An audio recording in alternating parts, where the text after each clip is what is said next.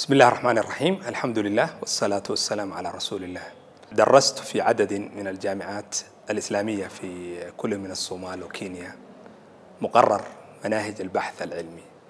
هناك في الحقيقة مشكلة لدى الطالب الجامعي في أغلب جامعاتنا في منهجية البحث أو القدرة البحثية لدى الطالب الجامعي.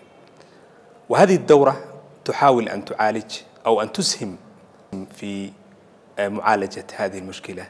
تركز الدورة على البحث العلمي بداية من اختيار الموضوع وإعداد خطة البحث وصولا إلى جمع البيانات وتوثيقها وإعداد الرسالة العلمية أو البحث العلمي للمناقشة.